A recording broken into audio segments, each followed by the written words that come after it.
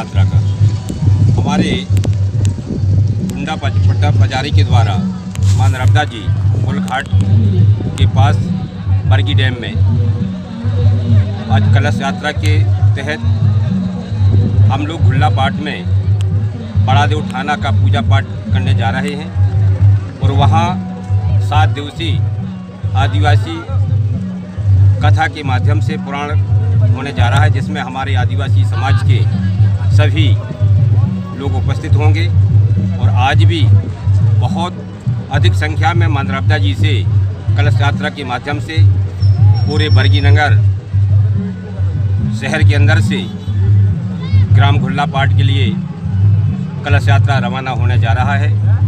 इस यात्रा में हमारे समाज के गुरु भी साथ में जा रहे हैं, क्षेत्र के सभी गणमान्य नागरिक जा रहे हैं और आज जाकर के पूजा पाठ के माध्यम से पूजा पाठ होगा और कल से हमारे आदिवासी रीति रिवाज के तहत आदिवासी पुराण का कार्यक्रम प्रारंभ होगा।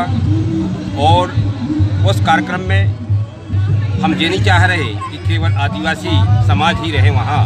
हम चाह रहे हैं सभी समाज के लोग उस पुराण में पहुँचें, उस कथा को सुने और अपना अपने अपने धर्म का लाभ उठाएँ। मैं ज़्यादा ना कहते हुए हमारे साथ में बड़ादेव थाना के अध्यक्ष समलू सिंह मरावी भी उपस्थित हुए हैं। साथ ही जिला पंचायत के सदस्य सम्मानित तीरथ कुंजाम जी भी उपस्थित हैं। हमारे क्षेत्र के जनपद सदस्य पूरण सिंह सयाम भी उपस्थित हुए हैं। साथ ही सभी आदिवासी गणमान्य नागरिकगण माताएँ बहनें उपस्थित हुए हैं।